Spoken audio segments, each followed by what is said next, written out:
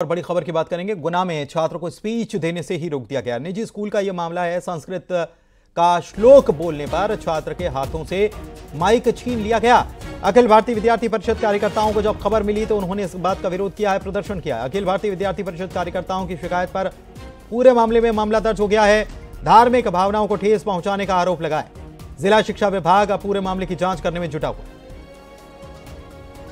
अशोक अग्रवाल शिवपुरी से हमारे संवाददाता जुड़े हुए हैं। अशोक, मामला क्या है? किस स्कूल का मामला? गवर्नमेंट स्कूल का मामला है। वहाँ पर एक छात्र द्वारा जब संस्कृत के श्लोक का वाचन किया जा रहा था तो उससे माइक छीन लिया गया प्राचार्य द्वारा और उसके बाद उससे कहा गया इस तरह की शायरियाँ यहाँ नहीं चलेंगी। तो इस पर अखिल भारतीय विद्यार्थी परिषद ने स्कूल में काफ़ी प्रदर्शन किया और उसके बाद में अखिल भारतीय विद्यार्थी परिषद की शिकायत पर स्कूल की प्रिंसिपल के खिलाफ मामला दर्ज हो गया है और इस पूरे मामले में जिला शिक्षा अधिकारी ने जाँच के आदेश दिए हैं। इस पूरे मामले में जाँच भी की जा रही है। धन्यवाद आपका इस जानकारी के लिए। पूरे देश में आफत की बारिश हो रही है। पहाड़ों में जहाँ जोरदार बारिश हो रही है तो मैदान भी बारिश से बेहाल है। शहर के शहर पानी में डूबे हुए हैं। मध्य प्रदेश और छत्तीसगढ़ में भी बाढ़ और बारिश का कहर देखने को मिल रहा है। हर तरफ़ बारिश का प्रहार है। गाँव से लेकर शहर तक सैलाब ही सैलाब है। देखिए जरा।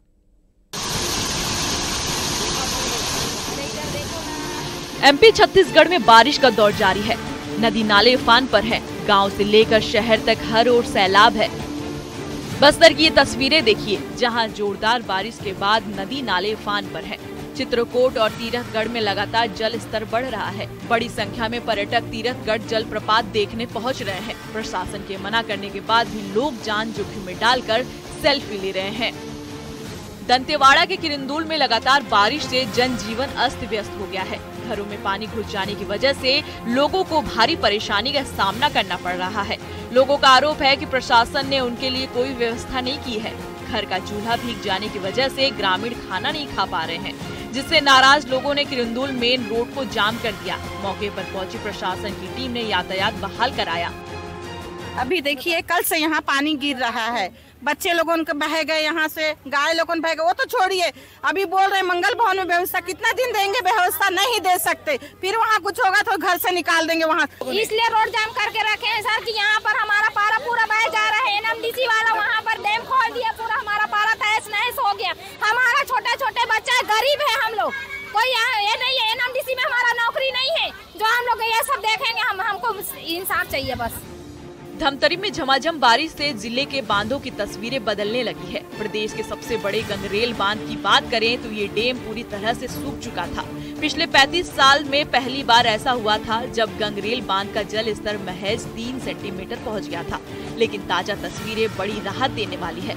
बाँध में पानी की अच्छी आवक हो रही है। ज़िले में लगातार हो रही बारिश को देखते हुए उम्मीद जताई जा रही है कि बाँध में पानी पूरी तरह भर जाएगा। गंगरेल बाँध से छत्तीसगढ़ के कई जिलों को पानी की सप्लाई होती है। गंगरेल बाँध की स्थिति ऐसे रही। जिसे भैया जी बताई पैंतीस साल पहले छुटके पानी आज भी सूखे रही पैंतीस मिनट में इतना पानी भरा कि पानी के लिए हम भूखे नहीं हैं। पानी इतना भरा कि हम प्यासे पानी में नहा सकते बीजापुर में भी तेज बारिश हो रही है। ज़िले में बारिश का रेड अलर्ट है। यहाँ बारिश के चलते स्कूलों में छुट्टी घोषित कर दी गई है। कलेक्टर ने ये आदेश जारी किया है।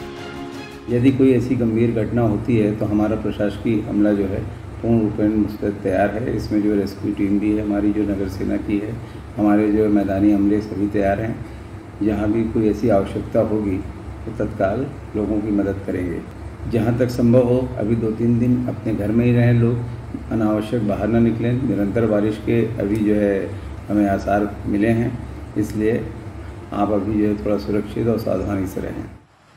कांकेर के बाग क्षेत्र में बारिश के बाद नदी नाले उफान पर है। लोग जान जोखिम में डालकर नदी पार कर रहे हैं। लोगों के नदी पार करने का वीडियो सामने आया है। ज़िले में हुई जोरदार बारिश के बाद पूरे क्षेत्र में बाढ़ जैसी हालात हैं। एमपी भी बारिश से बेहाल है। प्रदेश के कई जिलों में तेज बारिश हो रही है। 36 जिलों में बारिश का अलर्ट जारी किया गया है। इंदौर, भोपाल, जबलपुर भी बारिश से बेहाल है। जबलपुर में कुछ घंटों की बारिश ने नगर निगम के दावों की पोल खुल गई है। गड़ा सहित महाराणा प्रताप वार्ड के कई घरों में बारिश का पानी आ गया। आपको बता दें कि बीते 15 सालों से हर बारिश के मौसम में लोगों के घर में नाली नाले का गंदा पानी आ जाता है, लेकिन अब तक समस्या का समाधान नहीं हुआ है। सिवनी में बारिश की वजह से वेन गंगा नदी उफान पर है। भीमगढ़ स्थित बाँध के पाँच गेट खोल दिए गए हैं। बाँध से पैंतीस हज़ार क्यूसेक पानी छोड़ा गया है। बालाघाट, महाराष्ट्र के गोंदिया और भंडारा के निचले इलाकों में अलर्ट जारी कर दिया गया है। Bureau report, news 18